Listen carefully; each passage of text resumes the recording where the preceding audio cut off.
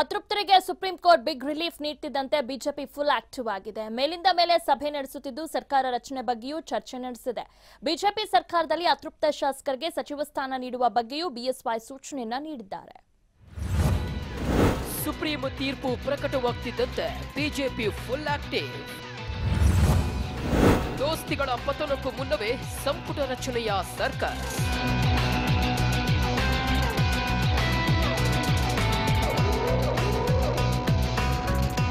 ಆದೇಶ ಪ್ರಕಟಿಸಿರುವ supreme court ಅತೃಪ್ತರಿಗೆ ಬಿಗ್ ರಿಲೀಫ್ ನೀಡಿದೆ. ಅಧಿವೇಶನಕ್ಕೆ ಪಾಲ್ಗೊಳ್ಳುವಂತೆ ಒತ್ತಾಯ ಮಾಡುವಂತಿಲ್ಲ ಅಂತ ಮುಖ್ಯ ನ್ಯಾಯಮೂರ್ತಿ ರಂಜನ್ ಗೊಗಾಯಿ ಹೇಳಿದ್ದು, ಬಿಜೆಪಿ ಪಾಳೆಯದಲ್ಲಿ ಸರ್ಕಾರ ರಚನೆಯ ಕಸರತ್ತು ಶುರುವಾಗಿದೆ. ನಾಳೆ ಮೈತ್ರಿ ಸರ್ಕಾರದ ಅಳಿವು ಉಳಿವು ನಿರ್ಧಾರವಾಗುವ ದಿನ. ಸಿಎಂ ಕುಮಾರಸ್ವಾಮಿ ಸದನದಲ್ಲಿ ಬಹುಮತ ಸಾಬೀತುಪಡಿಸಲಿದ್ದು, ಸಿಎಂ ತಂತ್ರಕ್ಕೆ ಬಿಜೆಪಿ ಪ್ರತಿತಂತ್ರ ರೂಪಿಸುತ್ತಿದೆ ಸಿಎಂ ವಿಶ್ವಾಸಮತ ಯಾಚನೆ ಪ್ರಸ್ತಾವನೆ ಸಲ್ಲಿಸದಿದ್ದಲ್ಲಿ ಬಿಜೆಪಿಯೇ ಸಿಎಂ ವಿರುದ್ಧ ಅವಿಶ್ವಾಸ ಗೊತ್ತುವಳಿ ಮಂಡನೆಗೆ ಚಿಂತನೆ ನಡೆಸಿದೆ. ಕಳೆದ ಶುಕ್ರವಾರವೇ ಸ್ಪೀಕರ್ಗೆ ಬಿಜೆಪಿ ಅವಿಶ್ವಾಸ ಗೊತ್ತುವಳಿ ಪ್ರಸ್ತಾವನೆ ಕೊಟ್ಟಿದ್ದು, ನಾಳೆ ಮತ್ತೊಮ್ಮೆ ಅವಿಶ್ವಾಸ ನಿರ್ಣಯ ಪ್ರಸ್ತಾವನೆ ಸಲ್ಲಿಕೆ ಸಾಧ್ಯತೆ ಇದೆ. ಈ ಮೂಲಕ ಸದನದಲ್ಲಿ ಸಿಎಂ ಕುಮಾರಸ್ವಾಮಿ ಅವರನ್ನ ಸಂಖ್ಯಾಬಲ ತೋರಿಸುವ ಅನಿವಾರ್ಯತೆಗೆ ಗುರಿ ಮಾಡಲು ಬಿಜೆಪಿ ಪ್ಲಾನ್ ಮಾಡಿದೆ. ಅದೇ ಸಂಖ್ಯಾಬಲದ ಕಾರಣದಿಂದ ಅವ್ರ ಅಧಿಕಾರ ಕಳ್ಕೊಳ್ಬೇಕಾಗತ್ತೆ, ಅವರು ಅನಾಥ ಶಿಶು ಆಗ್ತಾರೆ. ನಾ ಅಧಿಕಾರ ಲೆಕ್ಕದಲ್ಲಿ ನಾನು ಹೇಳ್ತಾ ಇರೋದು, ಅಧಿಕಾರ ಲೆಕ್ಕದಲ್ಲಿ ಅನಾಥ ಶಿಶು ಆಗ್ತಾರೆ. ವಿಶ್ವಾಸ ಮತದ ವಿರುದ್ಧವಾಗಿ ಮತ ಹಾಕ್ತೇವೆ. ಸರ್ಕಾರ ಬಿದ್ದು ಹೋದ ನಂತರ ಮುಂದೆ ರಾಜ್ಯಪಾಲರು ಏನ್ ನಿರ್ಣಯ ತಗೊಳ್ತಾರೆ, ಪಾರ್ಟಿ ಪಾರ್ಲಿಮೆಂಟರಿ ಬೋರ್ಡ್ ಏನು ಡೈರೆಕ್ಷನ್ ಕೊಡುತ್ತೆ, ಅದ್ರ ಮೂಲಕ ಅದರ ಅದರ ಕಾದು ನೋಡಿ ಅದ್ರ ಮುಂದೆ ಪಾರ್ಟಿ ಏನು ನಿರ್ಣಯ ತಗೊಳ್ತಾ ಅದು ನಾವು ಮಾಡ್ತೇವೆ. ನಮಗೆ ವಿಶ್ವಾಸ ಇದೆ. ನಾಳೆ ಈ ಸರ್ಕಾರ ವಿಶ್ವಾಸ ಮತವನ್ನ ಕಳ್ಕೊಳ್ತದೆ. ಯಡಿಯೂರಪ್ಪನವರ ನಾಯಕತ್ವದಲ್ಲಿ ನಾವು ಜಯಶಾಲಿ ಆಗ್ತೇವೆ. ಮತ್ತು ಮುಂದಿನ ಸರ್ಕಾರ ಬಿಜೆಪಿಯ ಸರ್ಕಾರ ಯಡಿಯೂರಪ್ಪರ ನಾಯಕತ್ವದಲ್ಲಿ ಈ ಕರ್ನಾಟಕದಲ್ಲಿ ಎಲ್ಲ ಜನರ ಅಪೇಕ್ಷೆಯಂತೆ ಸ್ಥಾಪನೆ ಆಗ್ತದೆ. ಬೆಳ್ಳಂಬೆಳಗ್ಗೆ ಬಿಜೆಪಿ ರಾಜ್ಯಾಧ್ಯಕ್ಷ ಬಿಎಸ್ ಯಡಿಯೂರಪ್ಪ ಗವಿಗಂಗಾಧರನ ಮೊರೆ ಹೋಗಿದ್ರು. ಮಹಾರುದ್ರಯಾಗ ನೆರವೇರಿಸಿದ ಬಿಎಸ್ವೈ ಪೂರ್ಣಾಹುತಿ ನಂತರ ಕಳಶ ಸಮೇತವಾಗಿ ಗಂಗಾಧರನ ದರ್ಶನ ಪಡೆದರು.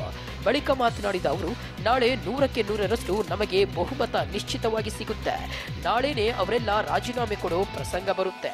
ಅದಕ್ಕೆ ಸ್ವಾಮಿಯ ಆಶೀರ್ವಾದ ಪಡೆಯಲು ಬಂದೆ ಅಂತಂದ್ರು. ನೂರಕ್ಕೆ ನೂರು. ಆದೇಶ ನಮ್ಮ ಯಾವುದೇ ಶಾಸಕರಿಗೆ ರಾಜೀನಾಮೆ ಕೊಟ್ಟರೆ ತೊಂದರೆ ಆಗದ ರೀತಿ ಆಗುತ್ತೆ ಅನ್ನೋ ವಿಶ್ವಾಸ ನನಗಿದೆ. ನಾಳೆ ಕಾನ್ಫಿಡೆನ್ಸ್ ಮೋಷನನ್ನು ಮಾನ್ಯ ಮುಖ್ಯಮಂತ್ರಿಗಳು ಮೂವ್ ಮಾಡ್ತಾ ಇದ್ದಾರೆ. ನೂರಕ್ಕೆ ನೂರು ನಮ್ಮ ಬಹುಮತ ಇರೋದ್ರಿಂದ ನಿಶ್ಚಿತವಾಗಿ ಅವ್ರಿಗೆ ಹಿನ್ನಡೆ ಆಗುತ್ತೆ. ನಾಳೆನೇ ಅವರು ರಾಜೀನಾಮೆ ಕೊಡುವಂಥ ಪ್ರಸಂಗ ಬರುತ್ತೆ.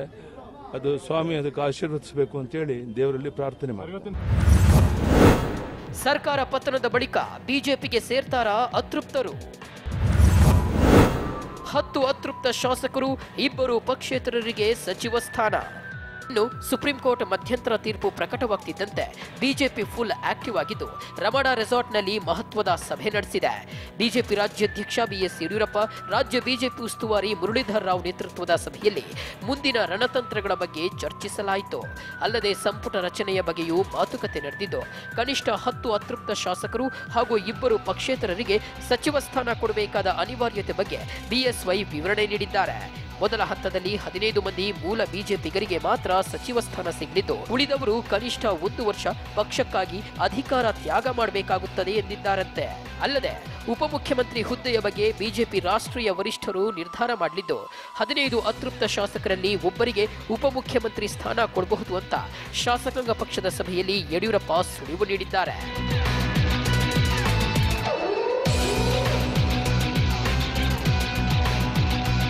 ಒಟ್ನಲ್ಲಿ ಸುಪ್ರೀಂ ಕೋರ್ಟ್ ತೀರ್ಪು ಬಿಎಸ್ವೈ ಅಂಡ್ ಟೀಮ್ಗೆ ಸಂತಸ ತಂದಿದ್ದು ಸರ್ಕಾರ ರಚನೆಯ ಹಾದಿ ಮತ್ತಷ್ಟು ಸುಲಭವಾಗಿದೆ.